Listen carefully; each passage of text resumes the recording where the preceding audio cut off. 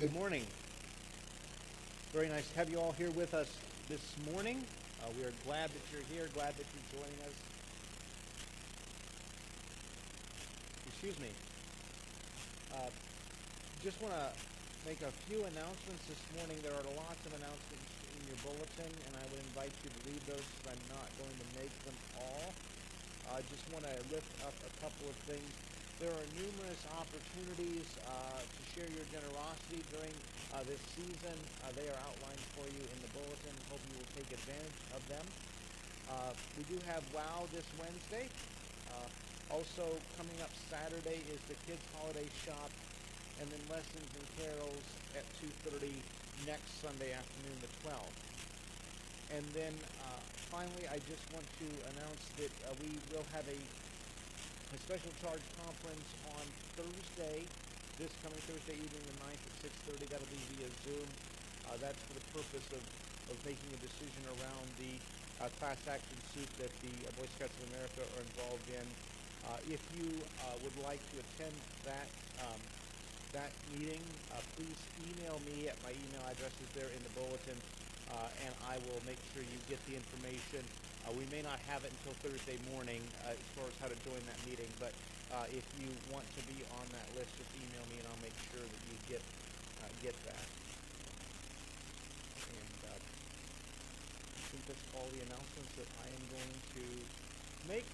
And I think the Brothertons are going to come and lead us in the lighting of our Advent wreath. Please stand.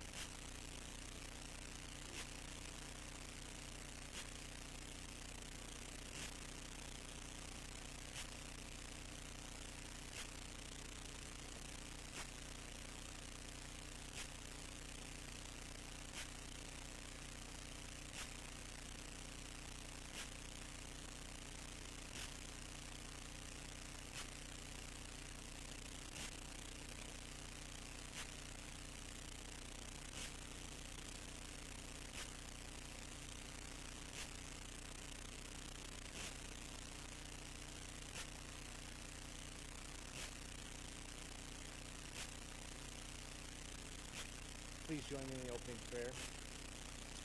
Merciful God, you sent your messengers, the prophets, to preach repentance and prepare the way for our salvation. Give us grace to heed their warning and forsake our sins, that we may greet with joy the coming of Jesus Christ our Redeemer, who lives and reigns with you and the Holy Spirit, one God, now and forever.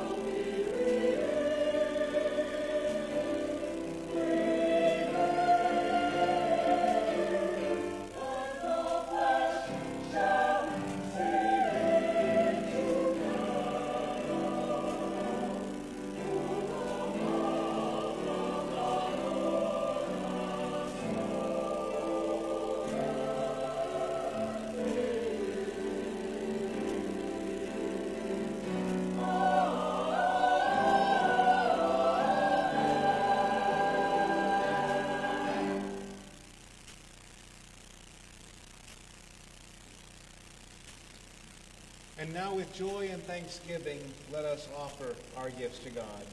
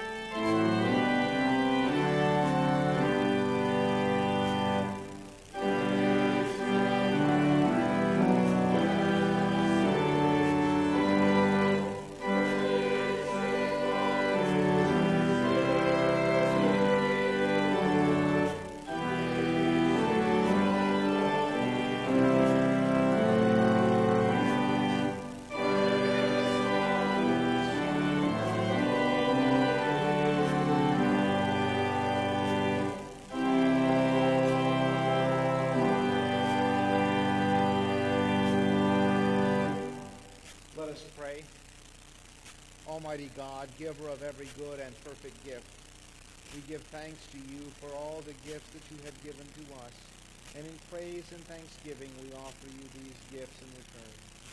Bless the givers and the gifts and those who have not to give. Use our gifts and us to do your work in the world, to spread your gospel throughout the earth, and to bring glory to your holy name. Through Jesus Christ our Lord. May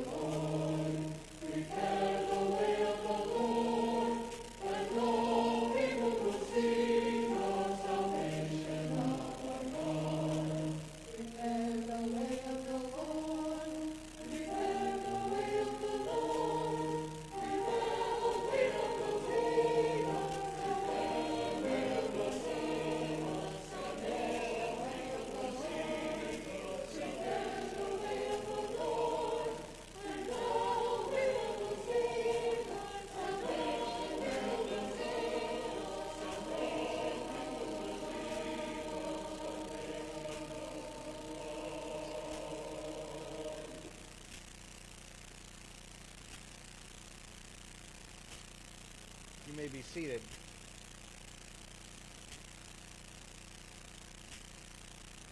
Ian, you want to come up? You want to come up? No? Fair enough.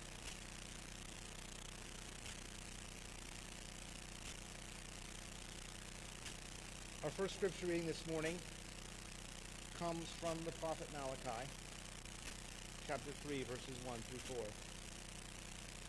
Listen the Word of God. I will send my messenger who will prepare the way before me. Then suddenly the Lord you are seeking will come to his temple. The messenger of the covenant whom you desire will come, says the Lord Almighty. But who can endure the day of his coming? Who can stand when he appears? For he will be like a refiner's fire or a launderer's soap. He will set as a refiner and purifier of silver. He will purify the Levites and refine them like gold and silver. Then the Lord will have men who will bring offerings in righteousness, and the offerings of Judah and Jerusalem will be acceptable to the Lord, as in the days gone by, as in the former years. The word of God for the people of God. In our gospel reading from the Gospel of Luke, chapter 3, verses 1 through 6. Again, listen to the word of God. In the fifteenth year of the reign of Tiberius Caesar, while Pontius Pilate was governor of Judea, Herod the tetrarch of Galilee, his brother Philip, tetrarch of Iturea and Trachonitis, and Lysanias, tetrarch of Abilene, during the high priesthood of Annas and Caiaphas, the word of the Lord came to John, the son of Zechariah, in the wilderness. He went into all the country around the Jordan, preaching a baptism of repentance for the forgiveness of sins, as it is written in the book of the words of Isaiah the prophet, a voice of one calling in the wilderness, prepare the way of the Lord, make straight paths for him. Every valley shall be filled in, every mountain and hill made low. The crooked road shall become straight, the rough way smooth, and all people will see God's salvation. The word of God or the people of God. Let us pray.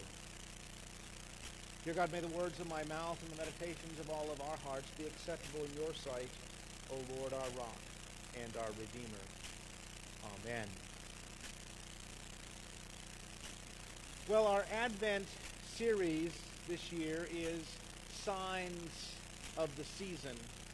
And this week's sermon is the sign of John. That is John the Baptist. John the Baptist is the forerunner of Jesus. Uh, he is the one that spoke about in the Old Testament, in Micah and Isaiah and in a couple other places as, as the one that comes before, the one who announces the arrival of Jesus. Um, John the Baptist was a relative of Jesus. We, we think a, a, second cousin, probably because his mother Elizabeth was a cousin of Mary, which would have made him a second cousin of Jesus. And John's mission was to prepare the way of the Lord. And the imagery that the, the scripture gives us is that of preparing a highway um, of, of, of raising up the low places, of bringing down the high places, of making the crooked path straight, or, or um, straightening the curbs, flattening the hills, as a theme song from a television show of my youth once said. Dukes of Hazzard. Um,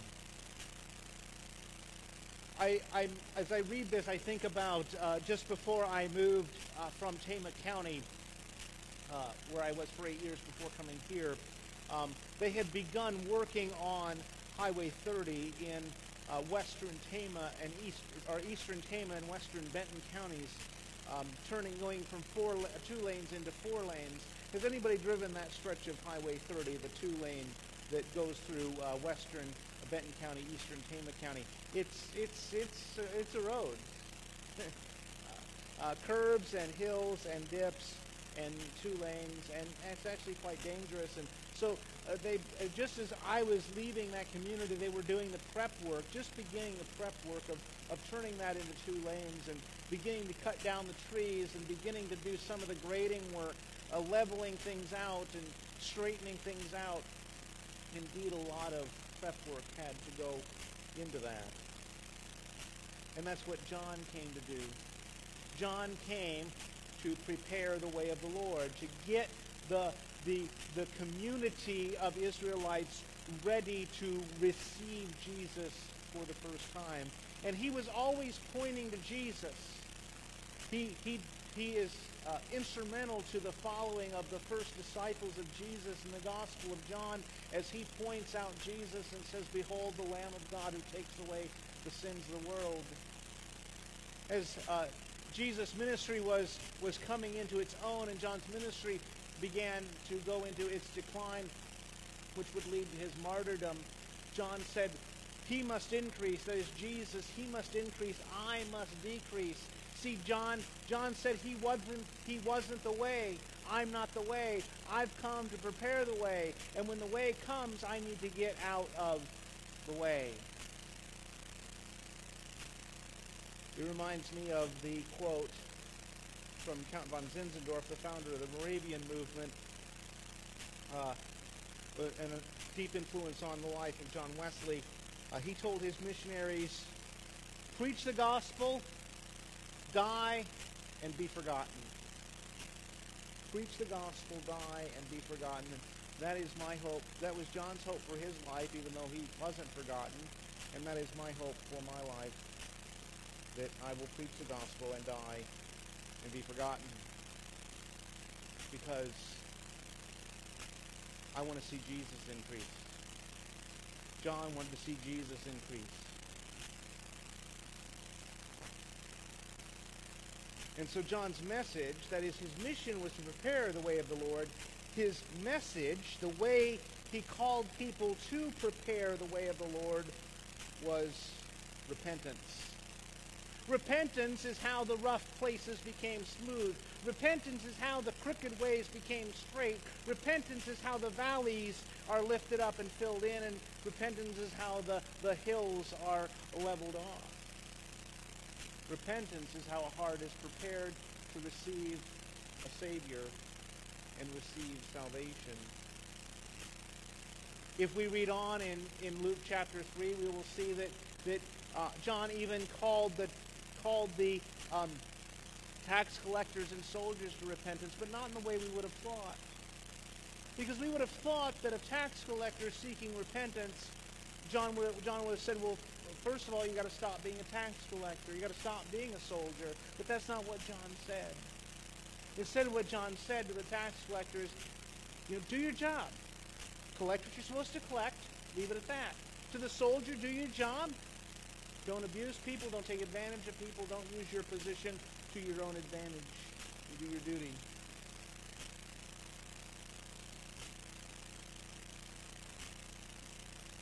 So what is repentance? If repentance is the way we prepare, if Advent is a season we repair, prepare, and, and repentance is the way we prepare, then what is repentance? Well, repentance is lot, is a lot more than being sorry Repentance at its heart requires three things of us to be complete. It requires an acknowledgement of sin. That means, yes, there's a list of things who are, who, that are sins. Who wrote that list? God did. God wrote the list of the things that are sin, right? So who didn't write that list? We didn't. We didn't write the list. Don't, don't you wish you could make up your own sin list? Because there'd be some things you'd leave off of it, wouldn't you? Who here has a favorite sin? Or, or let me not even be so. Let me not even be so blunt. We all have a favorite sin. How many of you have a sin that you just can't seem to get rid of? And it'd be a whole lot easier if it wasn't on the list. It'd be a whole lot easier if we got to make our own list. And, and probably if we got to make our own list, the things we'd say are sins are the things we don't like in the first place. Right? I'd, I'd put broccoli at the top of the sin list. Right? Um, you know, I, but we don't get to make our own list. We don't get to make our own list. We don't get to take things off of God's list. God decides what sin is. And the first step to repentance is that we have to agree with God about what's on the list. Step one, acknowledge sin. Uh, step two, confess sin. Right? So these are the things that are on the list. I did those things. I'm a sinner. and I'm sorry. Step three, turn from sin. Now, you need to know that, that the act of turning is at first takes place in the mind long before we actually manage to actually live it out in our lives. The commitment comes first, and then gradually we're enabled to live it out. But the commitment has to be there. That's the repentance part. The desire to turn from sin. And all those things have to go together to create repentance. And sometimes we short circuit that. Sometimes we we we want to we want to edit the list, take the things we like to do off the list, and then we don't we, we don't repent. Sometimes we'll say yes, uh, yes, that's on the list, but I don't do that, or somehow my way of doing it's different than other people's doing it, so we can't get to the second stage. And then the third stage is yes, yes, it's wrong, yes, I did it, but I just I don't want to give it up. It's the wanting to give it up that's the hardest part, maybe, than the actual doing it. Even if we continue to struggle, we have to want to not do it. And so Advent is the season of Advent is about preparing.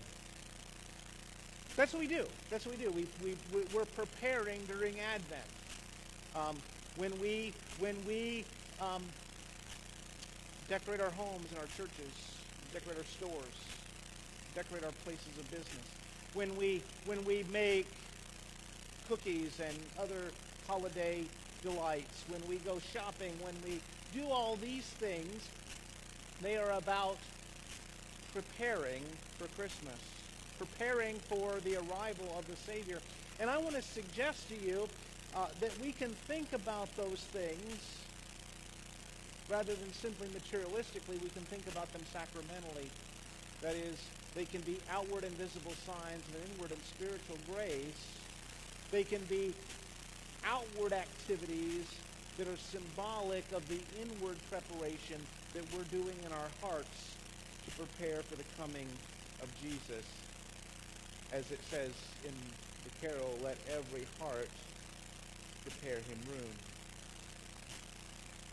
And so our mission, like John's, is about preparing ourselves and others to receive the Savior. Let all these things that we do be symbols for us of the repentance and openness that we need to prepare our hearts to receive anew our Savior. Let, let our acts of generosity, our acts of cheer spreading, joy spreading during this season be, be symbolic, be sacramental of helping other people's hearts open to Jesus. May everything we do be about opening and cleansing our hearts to receive the Savior. Let every heart prepare him room. And the first step to that preparation is repentance. The first step to that preparation is repentance. Acknowledging sin, confessing sin, turning from sin. Repentance is hard, and sometimes it's it's a process.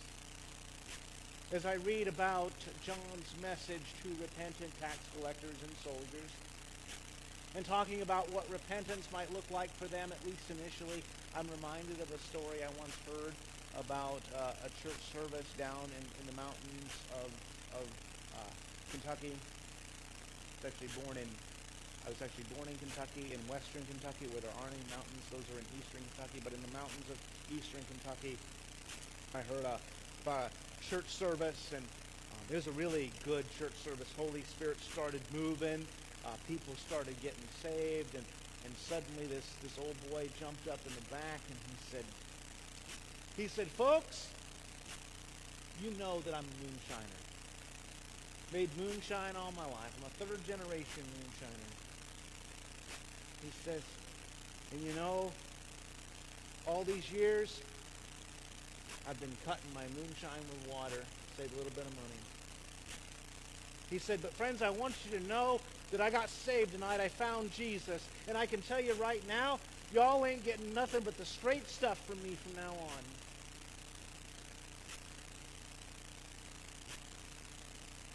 That, in its way, is repentance.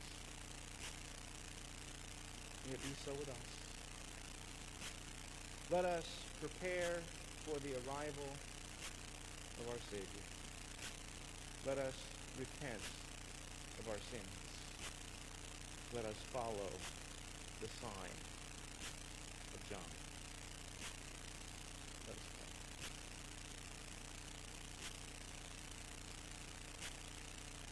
God, we admit that these first two Sundays of Advent strike us a bit off guard. In a season when we're expecting to talk about happiness and joy and peace and, and, uh, and all those things. Now, the first Sunday of Advent hits us with this stark message of the return of Jesus and all the anxiety that that brings. And then in the second Sunday of Advent, along comes John calling us to repent. But God, we know that if we're ever, if we're ever going to experience Christmas, if we're ever going to experience the arrival of Jesus into our hearts, it has to begin with repentance. So God, I pray that you'd pour a spirit of repentance into our hearts today. God, as we come to receive this sacrament of, of forgiveness and repentance today, God, may we do so in a spirit of true repentance that acknowledges sin, confesses sin, and turns God, we pray for our church. We pray that you bless us and help us to grow and prosper. Help us to worship and serve you in spirit and in truth and serve the world in your name. God, we pray for the whole body of Christ throughout the world. We pray for the persecuted church. We pray for the United Methodist Church, for this annual conference and our Bishop Laurie, this district, and our Superintendent Doug. We pray for our community, our nation, and our world in these troubled times. God, we pray for all the people and places who are in need, all those that are sick, all those that are suffering, all those that are struggling. God, we pray for men and women who serve us at home and abroad. We pray for our, our military and for our veterans, for our law enforcement and our first responders, for our missionaries and relief workers, for our healthcare workers, and all those that serve our communities. God, we pray for our world leaders at every level. We pray for ourselves, our families, our church, our community, our nation, and the whole world the blessings of peace, justice, health, safety, freedom, stability, prosperity, and holiness. And now, oh God, we pray that you hear the prayers of each and every heart that is worshiping with us today, either here in the sanctuary or at home, as we lift up our prayers to you, either silently or aloud, saying, Lord, in your mercy, hear prayer.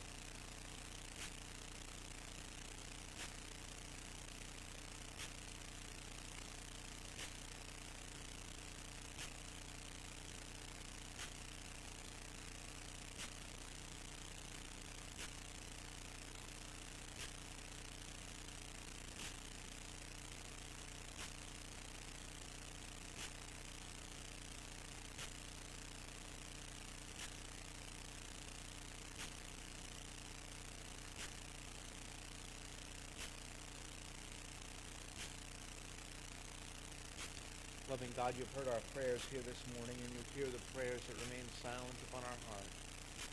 Oh God, you know our every need, and when we do not know how to pray, your Spirit intercedes for us with groanings that are too deep for words. God, we pray that you hear us now as we lift our voices together in the prayer which our Savior has taught us. Our Father, who art in heaven, hallowed be thy name. Thy kingdom come, thy will be done, on earth as it is in heaven. Give us this day our daily bread, and forgive us our trespasses, as we forgive those who trespass against us. And lead us not into temptation, but deliver us from evil. For thine is the kingdom, and the power, and the glory forever. And now I invite you to stand and join me professing our faith in the words of the Apostles' Creed. I believe in God the Father Almighty, creator of heaven and earth. I believe in Jesus Christ, his only Son, our Lord, who was conceived by the Holy Spirit, born of the Virgin Mary, suffered under Pontius Pilate, was crucified, died, and was buried. He descended to the dead. On the third day he rose again. He ascended into heaven, is seated at the right hand of the Father, and will come again to judge the living and the dead. I believe in the Holy Spirit, the holy Catholic Church, the communion of saints, the forgiveness of sins, the resurrection of the body, and the life everlasting. Amen.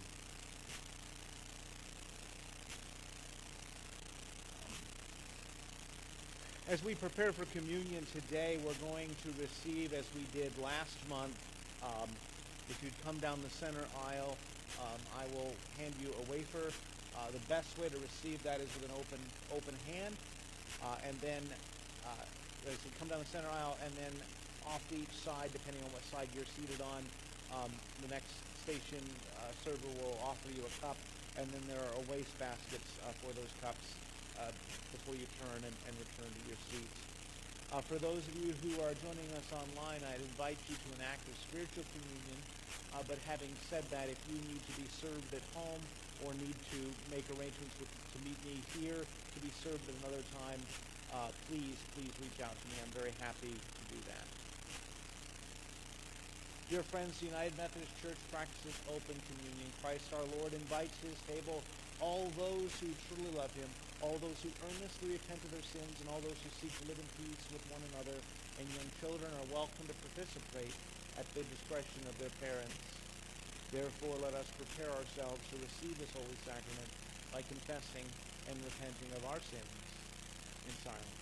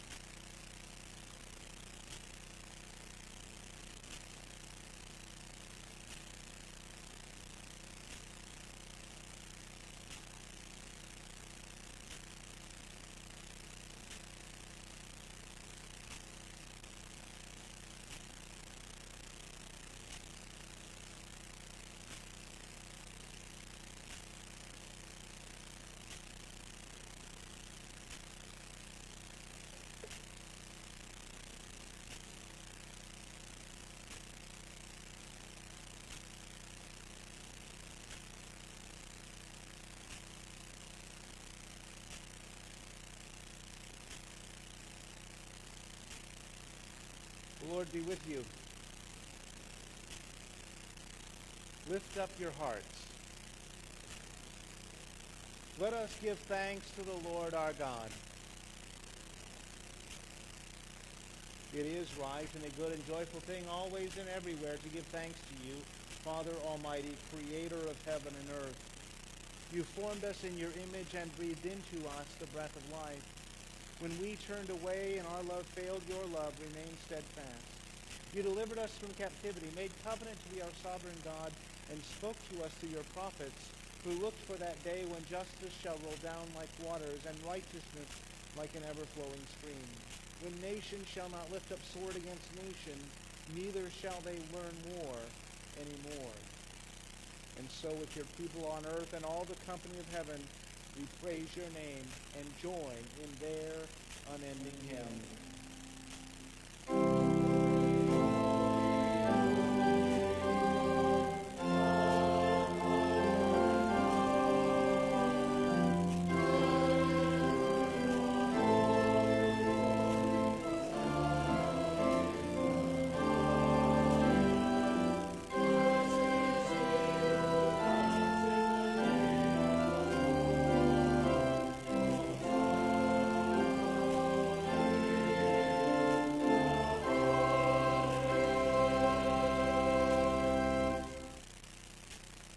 Are you, and blessed is your Son, Jesus Christ, whom you sent in the fullness of time to be a light to the nations.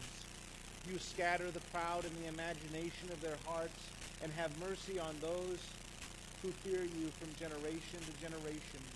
You put down the mighty from their thrones, and exalt those of low degree.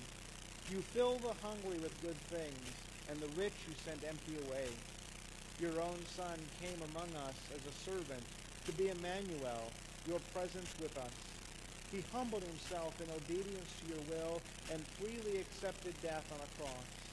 By the baptism of his suffering, death, and resurrection, you gave birth to your church, delivered us from slavery to sin and death, and made with us a new covenant by water and the Spirit.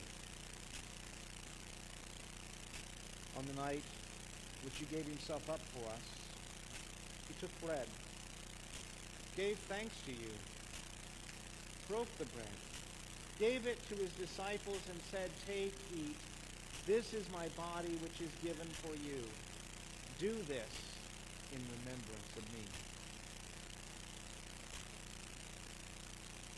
When the supper was over, he took the cup, gave thanks to you, gave it to his disciples, and said, Drink from this, all of you. This is my blood of the new covenant poured out for you and for many for the forgiveness of sins. Do this as often as you drink it in remembrance of me. And so, in remembrance of these your mighty acts in Jesus Christ, we offer ourselves in praise and thanksgiving as a holy and living sacrifice in union with Christ's offering for us as we proclaim the mystery of faith.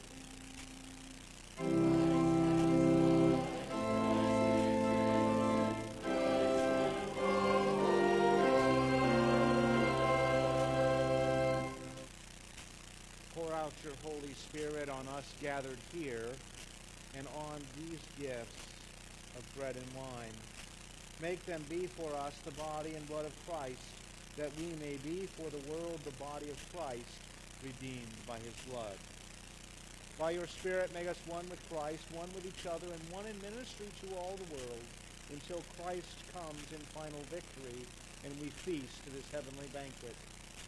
Through your Son, Jesus Christ, with the Holy Spirit in your holy church, all honor and glory is yours, Almighty Father, now and forever.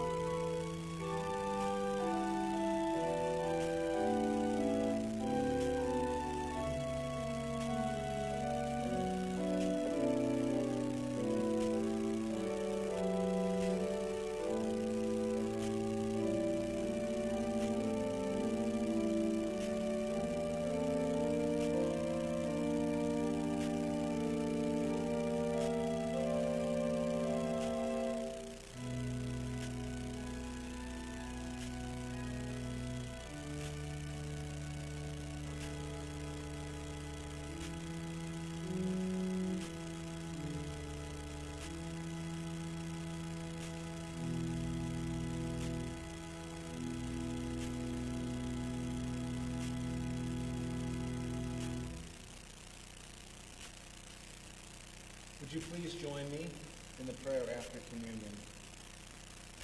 Eternal God, we give you thanks for this holy mystery in which you have given yourself to us. Grant that we may go into the world in the strength of your Spirit to give ourselves for others. In the name of Jesus Christ our Lord.